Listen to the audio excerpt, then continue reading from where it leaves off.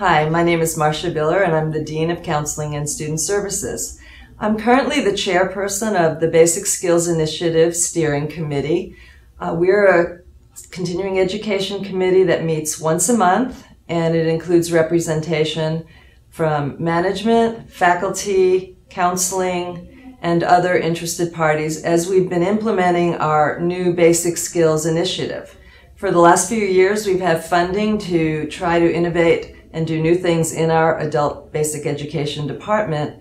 And this committee has been integral in coming up with new ideas, developing pilots, evaluating data, and deciding what our direction should be in the future. It's a very collaborative, energized committee with many people representing the institution.